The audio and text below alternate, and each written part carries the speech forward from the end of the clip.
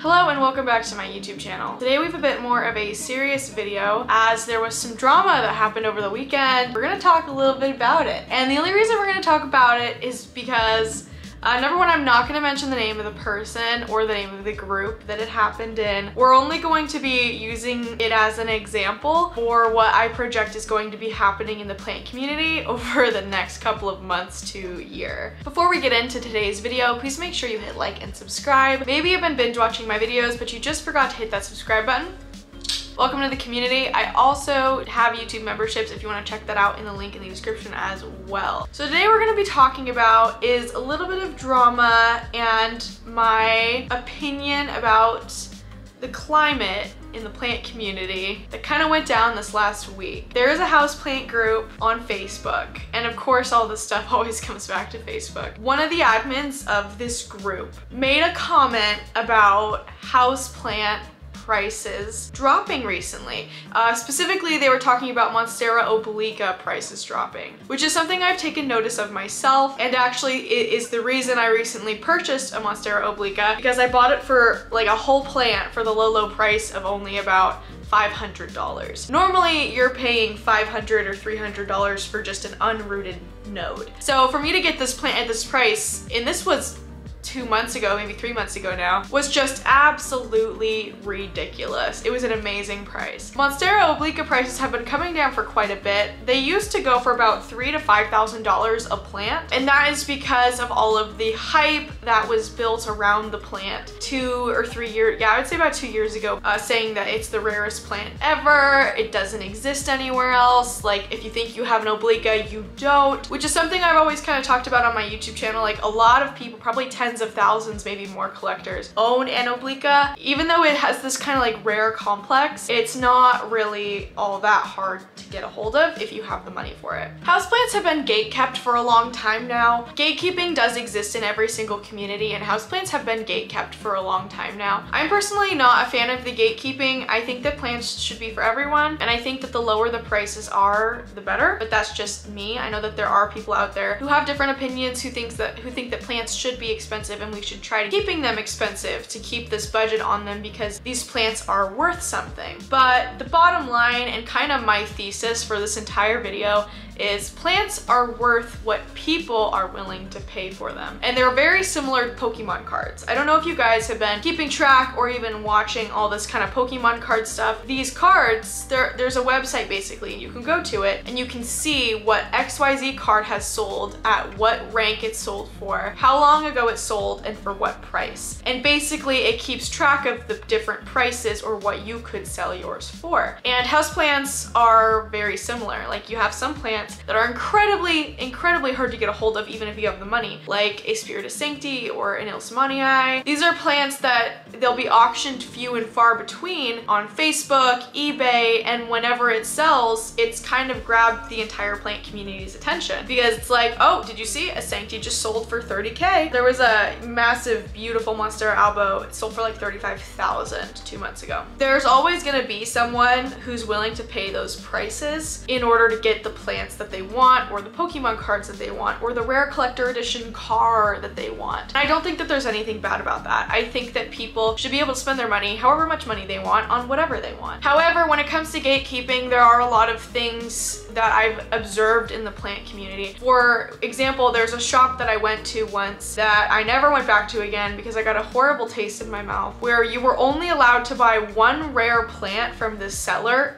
ever. Um, and that was it. And so they were gate gatekeeping these plants and they also were selling them for exorbitant prices. And so it kind of makes it feel like it's even harder to get. By creating this fake market of, oh, these things are really, really hard to get, so you should buy it the first chance you see it, that is kind of what makes this whole rare thing a thing. I personally think that the prices should go down. The prices are incredibly high right now. I joined kind of at the cusp of the plant prices getting higher. When I joined, it was about maybe 100 to $150 for a Monstera Albo, and I bought an Ace of Spades for 50 bucks. Like, it was about three years ago now, probably. And now Ace of Spades are like 500 to $1,000, and depending on the Albo you want, it's 500 to whatever. But we'll, we'll get into Albos a little bit more later. I personally think it would be best for the community if the plant prices went down because I personally am a part of the community for the collection aspect, like swapping and trading and making friends with people in the community. I'm not exactly here to like jack up the prices and try to make a quick buck. There are people in the community who are amazing and wonderful community members. However, they sell plants for more expensive because that's what they feel those plants are worth to them. For me, if I wanted to part with like my sport Monstera, someone would have to pay me a lot of money for me to feel comfortable letting go of that plant. So I have this kind of little ranking system. We've got big box stores, plant sellers like shops, and then private sellers. And in my opinion, I think big box stores are the cheapest, plant shops are kind of medium, and then private sellers can be very expensive. They can also be very cheap. But that's kind of my general opinion. And so when you get someone like a private seller who is gonna maybe sell this massive two gallon gorgeous sport variegated Monstera, they might not wanna let it go for less than $2,000 because to them, that's how much that plant is worth to them. Like they would need a pretty good amount of coaxing to let go of that plant. So all that leads me to say that I am not a fan of price shaming. I used to price shame because I was like, well, how else are we gonna bring the market of the plants down? Like it's so expensive. But then because I was calling out people who I believed to be price gouging, all of a sudden it didn't matter what I tried to sell my plants for. People were not happy with my prices and they thought everything should just be free. They're like, oh, well, if you're gonna call out XYZ, you can't sell this for $75 or $50 and I've always sold my plants for pretty cheap. Not everyone is price gouging and if you know how to find affordable plants, I've done quite a few videos on that on my channel. It's the online houseplant shopping series. If you know how to find affordable plants, you won't ever be spending too much money and if you really ingrain yourself, especially in your local community, you'll be able to make a lot of really wonderful and meaningful trades. But at the end of the day, even if someone is selling a plant for $18,000, $20,000, I'm not gonna price shame that person or make fun of them or blast them. That's what they're allowed to do. People are allowed to sell plants for those prices. And to further wrap up my point, what I'm allowed to do and what other people are allowed to do is sell plants for cheaper. Ultimately, the only thing that's going to stop this massive increase in plant prices is by flooding the market with more and more and more competition. I don't think that it's possible to shame people out of selling plants for expensive prices. I think that they'll just buckle down because they know that there is a market for it and that people will still buy it. So I think that what's best to do and what has the greatest positive outcome for our community is just to be nice to everyone and to respect other people's decisions and be the change that we want to see in our own community, i.e., lower prices, no gatekeeping, making sure that plants are available for everyone. Like I said earlier, plants are worth what people are willing to pay for them. And at the end of the day, that's the cost of plants. And the core of this video is that sellers are realizing that buyers are really no longer wanting to pay those prices, which is why the prices are coming down so much. If you don't want to pay those prices, don't pay them. Sellers will realize that. It's what's happening right now. And it's why I used the example of this Facebook group admin who wanted to stop selling plants to increase the value of the plant. It's very relevant and I think that it's really important to discuss, especially in our community.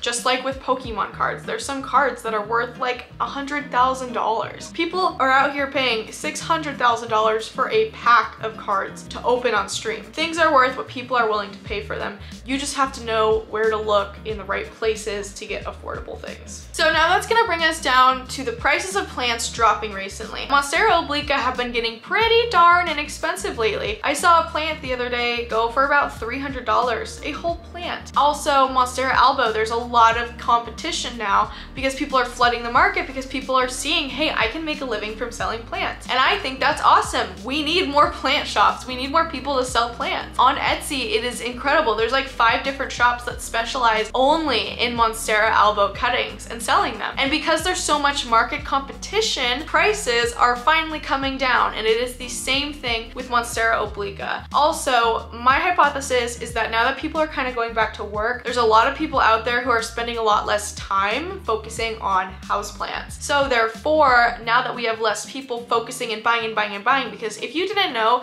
during COVID, gardening was one of the most searched and shopped for things during the panoramic. It's not just outdoor gardening, indoor gardening absolutely took off. And a lot of people were getting into these kind of like rarer plants. So now that the market's kind of evening out, people just kind of are unwilling to pay these massive prices anymore. And so people are posting things and they're not selling and they're not selling and they're not selling like they were before. Because when you get this brand new mass influx of people who don't know anything about plants and they're told, oh, this is a rare thing. Rare means I won't ever see it again. Oh my gosh, this person's selling it for 10K. I'm gonna buy that. Now people are like, oh, there's tons of people selling this. I don't have to pay 10K, I can pay 500 and get the same thing. So prices are going down and it's stressing some sellers out. And I've had this hypothesis for a while, but it was confirmed for me when all this drama went down this last week. So what's the drama? Like I summarized at the beginning of this video, about sometime around the beginning of last week, there was an admin of a group. They made a public post and I'm gonna read you what it says. Starting immediately, there will be a temporary stop to all sales in the group. Let's all stop to smell the roses. The high supply after spring and low demand in summer have brought down the prices of Obliqua drastically, especially in this group. We all love Obliqua. We can't devalue the species so fast so much. If you've recently posted a sales post, please willfully remove it or turn off commenting. I want this to be a group effort. The temporary sales restrictions will be lifted sometime in September. Trades are still encouraged. I feel very bad for the person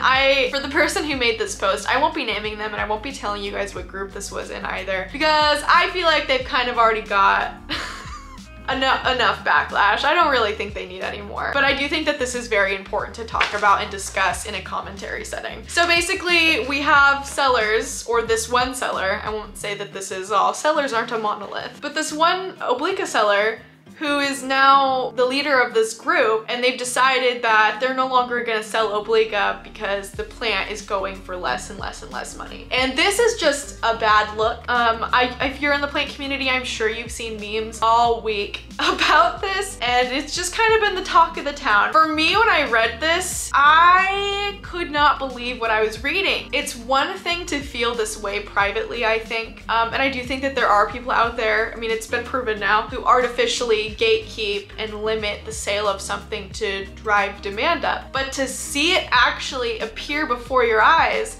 is kind of a shell shock moment. That really, really rubs me the wrong way. And it rubbed the entire community the wrong way. Okay, I had to go back and find the actual post. A couple hours after this person, after this admin posted the original thing, they recanted what they said and said, okay, back by popular demand, sales post. I just woke up to all these passionate comments. I know you guys created this group and I absolutely respect each and every one of your opinions. I can't make you stay in this group, but please try to keep it more friendly and don't jump on accusing people. Be nice to each other and to the admin team. It's hard enough to keep everyone happy and I can't make everyone happy. I'm not a gatekeeper. I'm not doing this on purpose. I'm not sad because I can't sell my notes. I'm all sold out because of the members of this group. You guys rock. They went and immediately were pretty positive after saying that they want it to be a group effort to stop the sale of Obliqua. And now they're just kind of like, haha, just kidding, ha ha ha. They ended up receiving a lot of hate and there were a lot of people who were joining the group just to hate on this one person. They just kind of recanted everything that they said and wanted to move forward. And the internet did not let them forget anything that happened over a week. Here's a pretty funny meme made by my friend on Instagram at Bushy Lady. They made this meme and I think it's absolutely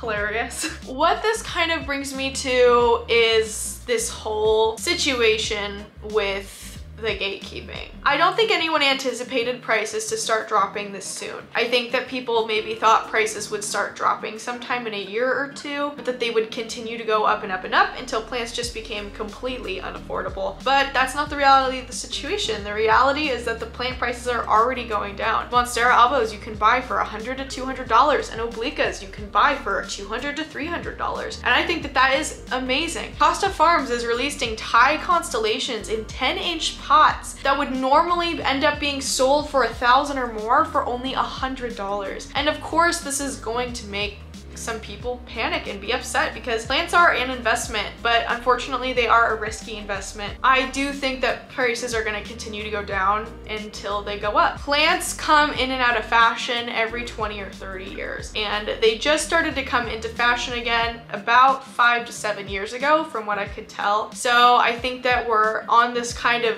uprise. I think we're about to start plateauing and I think that the prices will start to come back down significantly and then I think it'll become a more niche community again. Just like Pokemon cards, just like any other thing that doesn't have any inherent value attached to it, it's really just what people are willing to pay. Plants are like that as well and I think that that is something that's important to remember. I just think that there's people right now who might start to try to control the community to try to keep the plants at, a, at this ridiculously high price when really, you know, we should let the market do what the market's gonna do. Anyways, that is kind of the video. I think that it's very interesting to see an actual example of someone gatekeeping product. It's not just behind the scenes that there was this clear panic enough for someone to come out and do this. If you know who this person is, please don't name them in the comments and please don't share what group it was. This video is about the fact that plant prices are dropping, some people are freaking out, and it's pretty interesting that this gripped the plant community for an entire week and my thoughts about it. There's probably tens of hundreds of people who are doing this exact same thing, but they're being being a little bit more quiet about it. Anyways, thanks so much for watching this video and for hanging out with me while I sit here and give you my thoughts about the situation. I thought it was a very unique thing to happen. It's not something I personally have seen happen before. And I don't think I've ever seen a drama situation take hold of the plant community quite this much. If you have differing opinions than me, I'd love to hear it down in the comment section.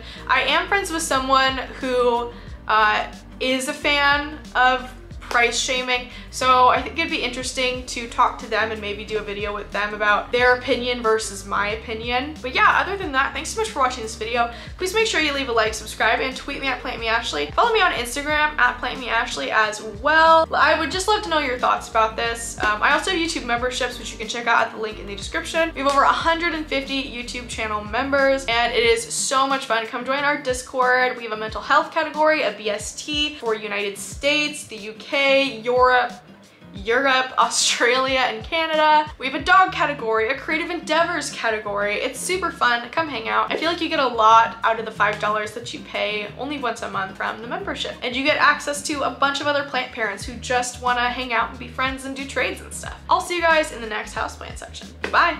Thank you so much for the extra channel support to the planted cauliflower, all the green places, and botanicas.